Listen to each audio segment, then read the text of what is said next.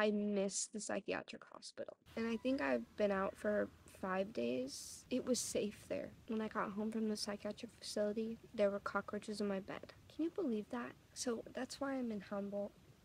That's why I'm back in Humboldt. I'm staying at my dad's again, and it's really bad.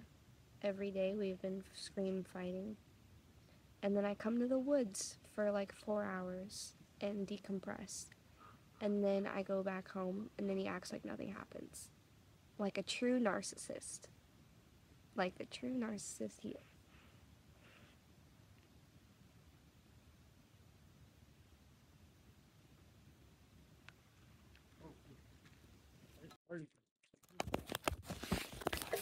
I'm not gonna hurt you. Okay, well you you scared me.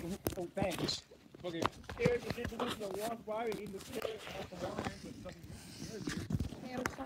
Sweetheart. Don't worry.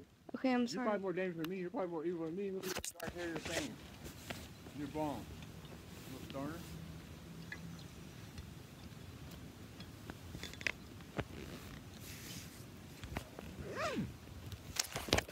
Okay, that was terrifying. What the fuck? I'm shaking. That was scary. Thought I was just about to get killed. He said that I looked evil. I can't even enjoy the woods because of tweakers. Like, look how beautiful it is here. I love Humboldt, but the tweakers, he was coming right at me. And so obviously I'm gonna be scared. And then he's like, You're probably more scary than me. Your dark hair and your veins. like, sir, I'm just a cute stoner trying to smoke my weed in the woods. POV were to sleep over in my car. Homeless vibes. Who knows? Maybe a little like a Bumble date world tour. oh, it's probably a bad idea. That's a homeless person for sure. I'm a homeless person. Why am I saying that? I think my home is the park. I think my home is the park. That's so funny. I feel like I feel like SpongeBob in the in the penny chip and napkin episode. It's like, take it away, penny, chip, and napkin. yeah. That's all I need. And this man just told me a story about how he thinks the cartel is after him.